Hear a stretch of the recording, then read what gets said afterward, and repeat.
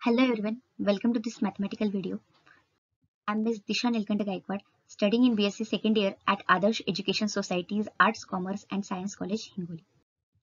Here in this video, I'm going to discuss an integration problem based on the concept of Riemann sum.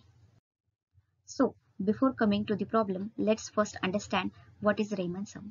Riemann sum is defined as S p f is equal to summation of f of ti into delta xi where uh, i is from 1 to n where t1 t2 up to tn are any points taken from the partition p such that xi minus 1 is less than equal to ti is less than equal to xi where i is equal to 1 to n.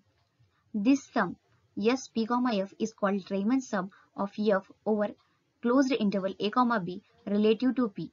We say that S p comma f converge to a as mu of p tends to 0. That is limit of S p comma f is equal to a where mu of p tends to 0.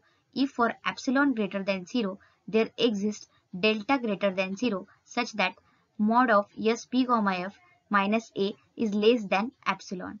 Here the mu of p is the length of the largest subinterval. So coming to the problem where we will show the integration of f from 1 to 2 is equal to 11 by 2 where f of x is equal to 3x plus 1. Coming to the solution of the problem, let P be a partition containing the points x0, x1, x2 up to xn where x0 is equal to 1 and xn is equal to 2.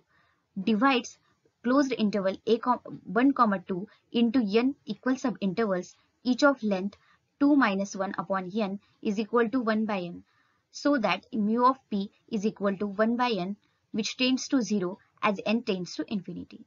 We get xi is equal to 1 plus i by n where i is from 1 to n. Delta xi is equal to 1 by n where i is from 1 to n. The summation of delta xi from i is equal to 1 to n is equal to n into 1 by n is equal to 1.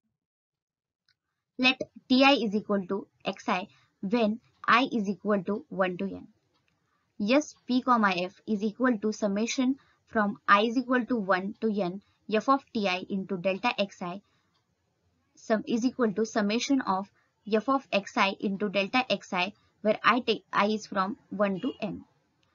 Then the summation of 3xi plus 1 into delta xi from i is equal to 1 to n is equal to summation from i is equal to 1 to n 3 into 1 plus i by n in plus 1 into delta xi is equal to 4 into summation of delta xi where i is from 1 to n plus 3 by n square into into, uh, into uh, summation i summation of i from 1 to n is equal to 4 into 3 by n square into n into n plus 1 upon 2 is equal to 11 by 2 plus 3 upon 2n.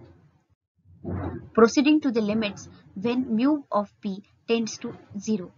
Limit of s p comma f where mu of p tends to 0 is equal to limit of 11 by 2 plus 3 by 2n where n tends to infinity is equal to 11 by 2. Therefore, we have proved that integration of f from 1 to 2 is equal to 11 by 2. In this way, we have solved this problem. I hope you will like this video. Thanks for watching this video. Namaste.